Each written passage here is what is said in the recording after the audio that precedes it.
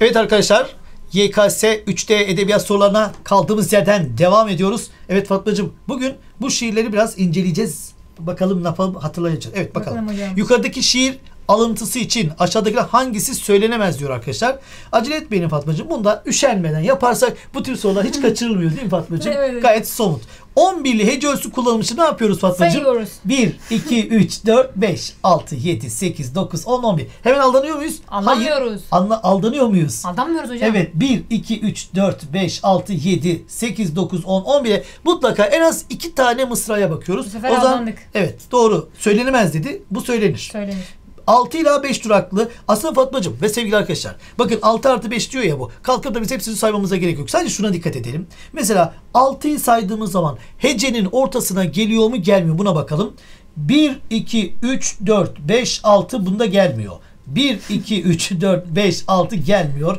1, 2, 3, 4, 5, 6 gelmiyor. Kelime ortasına gelseydi olmaz diyecektim. 1, 2, 3, 4, 5, 6. O zaman bu 6 artı 5 olabilir. Uzatmıyorum. Olabilir. Tamam. Kafiye bir ritim ögesi olarak kullanılmışmış. Ve At bana içi, kapına çiğ. Bana bana var mı? Var hocam. O zaman kafiye yazalım. Doğru. Nazım birimi dörtlüktür. Dört tane var zaten. Çok güzel. Aruz ölçüsü yazılmış mıdır? Hece ölçüsü. Çünkü niye? B şeklinde olurdu. Gördüğünüz gibi arkadaşlar aslında bu soru bize özellikle şu B şıkkında e, durak nasıl bulunur öğretti değil mi? Evet. evet. Aşağıdakilerden hangisi yukarıda verilen iki metin için söylenebilir diyor arkadaşlar. Bakalım birinci metin. Gemiler geçer rüyalarımda allı pullu gemiler damların üzerinden. Ben zavallı, ben yıllardır denize hasret. Bakar ağlarım. İkinci şiir oku Fatmacığım. Bir düşünsen yarıyı göç- geçti ömrüm. Gençlik böyledir işte. Gelir gider. Ve kırılır sonra kolun kanadın. Koşarsın pencereden pencereye. Evet şimdi bakalım. Nazım birimleri aynıdır. Nazım birimleri Dörtlük. şimdi söylenebilir dedi soru Fatmacığım. Ona da dikkat ediyoruz. Evet. Bu da çok önemli. Söylenebilir, söylenemez, çıkarılabilir, çıkarılamaz değil mi arkadaşlar? Buna dikkat ediyoruz. Söylenebilir. Nazım birimleri aynıdır. Bu dörtlük. Bu nazım birimi diye bir şey yok. O zaman bu söylenemez. Evet. Çarpat lütfen. Çarpı. Evet çarpatalım. Kafiye dizişleri aynıdır. Kafiye dizişleri mi? Arkadaşlar rüyalarımda üzerinden zavallı Hazret. Bir kere kafiye... Serbest ölçü. Evet yok kafiye dizilişi diyor ya kafiye dizilişi A B B A öyle arayacağız yok. Buraya bakalım ömrüm gider kanadın per. Burada da bir kafiye örgüsü yok, Yok. gibi. O zaman bu çarpı. evet. Tema ve konular aynıdır diyor. Tema ve konularına bakalım.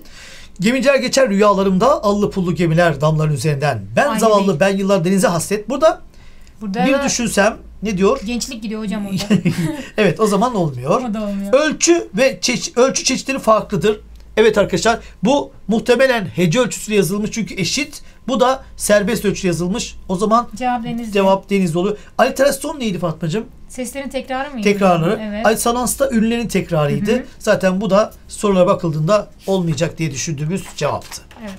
Yukarıdaki ahenk unsurlarıyla ahenk deyince birkaç tane kafiye, Evet. asonans, aliterasyon ilgili terimler ve şiir örnekleri hangisi uyuşmamaktadır diyor. Zaten soru tekrarı yapıyor.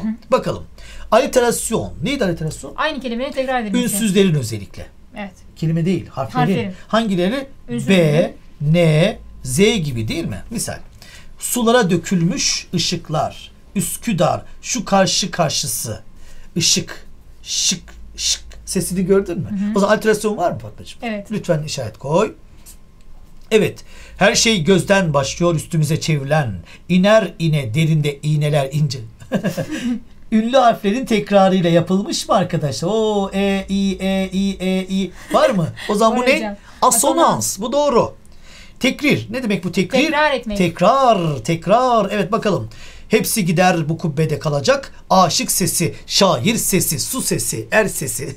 o zaman bu oluyor değil mi? Evet. babacığım? Onu da yazalım. Evet. Sarmal kafiye diyor. Sarmal kafiye A, B, A. B, C, B.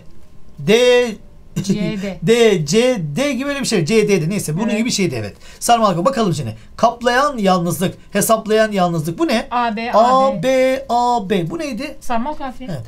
Bu Hayır bu Değil. çapraz. Tamam, sarmal bu örüşük kafiyeydi arkadaşlar. Şu muydu sarmal? Abba. Evet Gibi. buydu. Evet. O zaman böyle değil. Bu ne? Çapraz. Çapraz. Bu ne? Sarmal. Sarmal. Bu ne? Örüşük. Bu ne? Cevap evet. o zaman Cevap çıktı gibi görünüyor. Evet. Sen lütfen al. Yine bakalım aruz ölçüsü. Benzedürdüm kadı balağını nihali gülenine gel. Aruzdur bu kesin. Evet kesin çünkü dili ağır ve okurken de böyle biraz melodili gibi okuyor. evet cevap Denizli. çıktı. Bu arada örüşük kafiyeyi de hatırlatmış olduk. Tam ben bir ara sarmala gitti aklım. Sarmalı da öğrettik. Evet.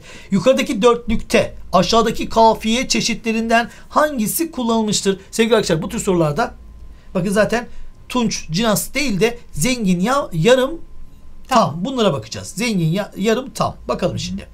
Ya bahçe, eğlence, gece bedir. Fa- e, çok çok önemli Fatma. Mesela ne yapıyoruz önce? Bir kere redif var mı ona bakıyoruz. Redif örneğin bahçe kelimesinin kökü zaten bahçe. Aldığı ek yok. Evet. Eğlence aldığı ek yok. Gece aldığı ek yok. Eğer hepsinde ortak ek olsaydı redif arayacaktık. Evet. Redif yoksa arkadaşlar direkt kafiye aramaya başlıyoruz. Üçünde de ortak olan harflere bakacağız şimdi. Niye? Çünkü bunun A, A, A, B olduğunu görüyorum. Bakıyoruz hemen. C. Hangisi? C'ler. Üçünde de ortak.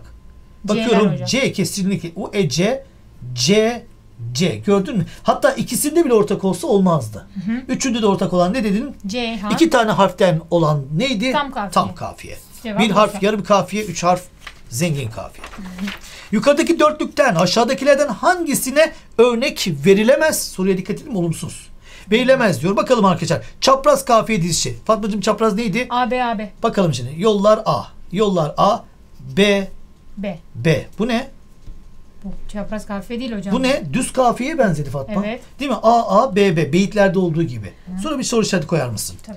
14 necesi olsun. Bakalım. 1, 2, 3, 4, 5, 6, 7, 8, 9, 10, 11, 12, 13, 14. Sen bir tane daha say. Bakalım 14'tü mü? 3, 4. 14 hocam. Evet o zaman onu kabul edelim. Verilebilir. Bu verilebilir. Evet. Ek ve kelime biçimi redif. Yollar yollar birbirinin devamı mı?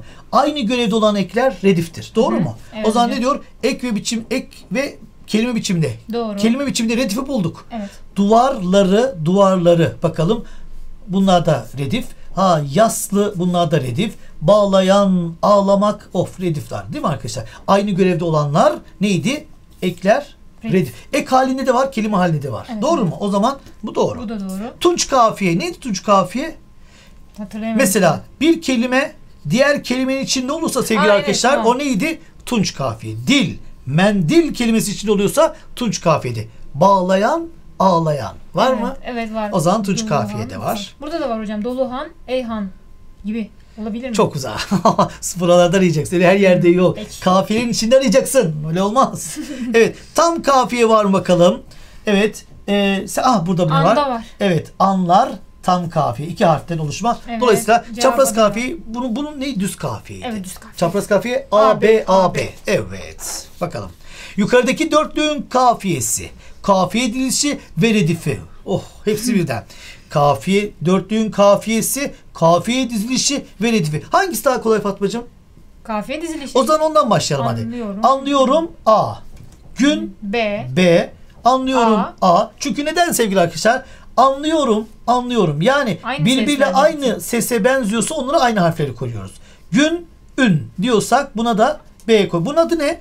B. Çapraz. Çapraz Dikkat şurada. Oh iyi iki, ikiye indi. İki tane çaprazımız var. Doğru mu? Hocam, evet. Evet. Diğerlerini eleyebilirsin Eleyebilirim. Fatmacığım bu arada. Evet. Sonra neye bakalım biz? Redifi bakalım. Redifi. Redif var mıymış bakalım. Ek biçimi de kelime biçimi soruyor. Şimdi bakalım. Önce A'lara bakalım. Çok anlıyorum. Anlıyorum. Bir kere bu ne? Kelime halinde. Doğru mu? Evet. Bakalım o zaman. Kelime halinde nerede var? Olanları yapıyordun. Şurada evet. gitti. Evet. Tamam. Ne oldu? Çapraz çapraz. İki tane, tane kaldı kaldı. hocam. Evet. Bakalım şimdi. Kelime biçiminde mi ek biçiminde mi? Bakıyorum. Ne oldu? Kelime. Bakalım. Bülbülün gülün. Burada arkadaşlar gün kelimesinin zaten kendisi kök. Bülbülün kelimesinin zaten bülbülün ek burada var. Ama buradaki ek olmadığı için burada Olmaz. hiç redif yok. Değil mi? Kafiye var ama redif, Redif yok. yok. O zaman kelime biçimindeki redif zaten ne oldu? Cevap çıkmış oldu gibi. Evet. bir de kafiyesine bakalım. Anlıyorum, anlıyorumu bulmuştuk. Çünkü aynı görevde yazışları aynı, görevleri aynı olan ekler ya da kelimeler rediftir. Sonrakinden geri gidiyoruz. Yok, çok. Ortak olan harfler O, Ok. K, O, K. O zaman ne oldu? Ceyhan oldu. Cevap oldu. Ceyhan ve böylece devam ettik. Daha var değil Bir mi? sorumuz var hocam. Var var evet devam. Oo Fatmacığım bu sorular da çok çıkıyor. Bunu nasıl çözülebiliyor musun? Sözlerinin tümü kullanılarak çapraz kafiye dizişinde Evet. anlamlı bir dörtlük oluşturmak istense aşağıda hangisi son iki mısrayı oluşturur? Sevgili arkadaşlar bu bir oyun. Çok hoşuma gidiyor benim. Şimdi bakınız. Sonuna bakın ne yapıyoruz? Birinci. Arkadaşlar şöyle bir metot uyguluyoruz. Ağlar kelimesi AR ile bitene A diyoruz. Evet. Çeşmesi diye bitene de B, B diyoruz. diyoruz. Şimdi bu birinci adımımız. İkinci adımımız Yine ayla. bunların içerisindekiler arıyoruz. Mesela A'larla bitene Bu ne yapıyoruz? hocam. A diyoruz. Çeşmesiyle bitene B diyoruz. Şimdi şöyle yapıyoruz. Şimdi şöyle yapıyoruz. Bu dört tane cümleleri buralara yerleştireceğiz arkadaşlar. Ama ne olursa çapraz, Çapraz. kafiye. Çapraz kafiye şiirimizi şuraya koydum tekrar. Bu şiirimiz nasıldı? A, A, B. B. Çapraz olabilmesi için buraya ne gelecek, gelecek Fatmacığım? A, B. O Evet. zaman şöyle yapıyoruz Fatmacığım. A burada hangisi? 4. 4 ne oluyor şuraya yazdım. Çünkü niye? A B'nin yerine Hı hı. gelsin. B'nin yerine yazacağım arkadaşlar. Üç. 3'ü yazacağım ve bakacağım 4 ve 3 olan şıkları bakayım Fatmacığım bu. Burada. 4 ve 3 başka yerde var mı? Tuzağa düş. Kesin. O bu kadar hemen cevap çıktı. Evet cevap Evet çıktı. cevap Bursa. Evet. İstersen diğerlerini de anlamlı bir araya getirebilirdik. Evet. Evet bunu da arkadaşlar dikkatli dinlersek olacak bir soru.